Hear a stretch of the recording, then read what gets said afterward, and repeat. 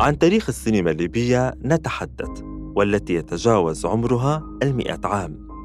ففي عام 1968 تكاملت كل التقنيات السينمائية فأنشئت معامل التحميض والطبع وتم شراء آلات من ألمانيا وبدأت الاستعدادات لقيام سينما وطنية. عندما كان الراحل أحمد الصالحين الهوني وزيراً للأعلام والثقافة حينها والذي كانت لديه الرغبة في قيام سينما ليبية فأنشأ قسم الإنتاج السينمائي وبدأت المحاولات الأولية في الإنتاج. وفي العام 1973 تم إنتاج فيلم بعنوان عندما يقسو القدر للمخرج عبد الله الزروق ويعتبر أول فيلم في تاريخ السينما الروائية الليبية. ومن بعد تم إنتاج فيلم الطريق للمخرج الفلسطيني يوسف شعبان محمد. وفي السبعينات شهدت السينما في ليبيا حضوراً ملفتا حيث كانت صالاتها تعرض أفلاماً قبل الدول المنتجة لها. وهنا لابد لنا من وقفة أمام فيلم الشطية للروائي الليبي إبراهيم الكوني. هذا الفيلم الذي يعتبر من أهم الأعمال الروائية في السينما الليبية. في محاولة هي الأولى لنقل الأدب الليبي إلى الشاشة لأول مرة.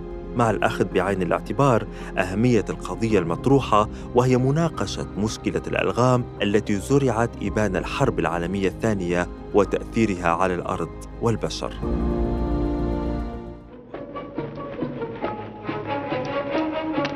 جاك الجود جاك الجود جاك الجود.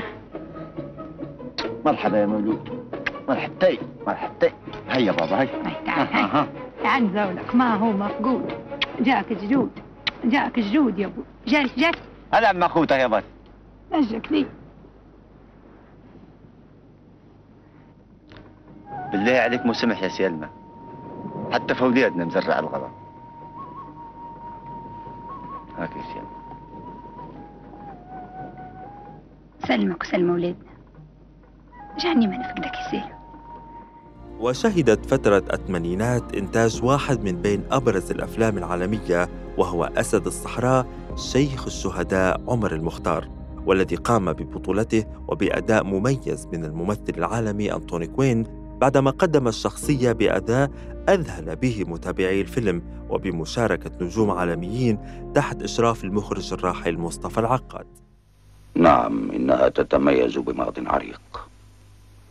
ولكن لا تحاول شراء الكثير بها اليوم. أموالكم تماما كأمجادكم ليست خالدة. ولكني أحترم ماضيكم وعليكم احترام ماضينا. نحن أيضا لنا تاريخ وعلوم رياضيات وطب. في قرون ظلامكم قدنا العالم في المعارف. كم يوما ستحتاج لترتيب استسلام رجالك؟ نحن لن نستسلم. ننتصر أو نموت. ولا تظن أنها النهاية سيكون عليكم أن تحاربوا الجيل القادم والأجيال التي تليه. السينما الليبية لم تقتصر مساحات الإبداع لديها في تجسيد الملامح الوطنية فحسب. بل امتدت إلى تقديم جوانب إنسانية مختلفة من الأدب والحياة الاجتماعية عبر أفلام روائية طويلة وأفلام قصيرة. وهذا ما قامت بإنتاجه الشركة العامة للخيالة في عدد كبير من الأفلام السينمائية التي جسدت واقع نشنا ومن بين هذه الأفلام كان فيلم معزوفة المطر للمخرج عبد الله الزروق وبطولة نخبة من نجوم السينما الليبية. ويبقى السؤال لماذا لم نرى بعضا من هذه الإنتاجات السينمائية لأعمال فنية كبيرة حصدت الكثير من الجوائز العربية والعالمية عبر شاشات التلفزيون الليبي؟